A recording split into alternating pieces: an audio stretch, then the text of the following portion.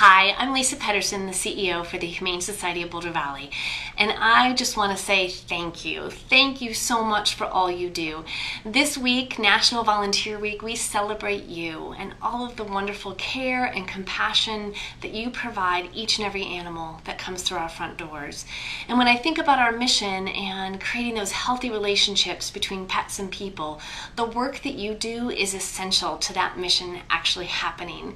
And every day I see just the, the love and care that you give every animal that you touch. So, from the bottom of my heart, I say thank you.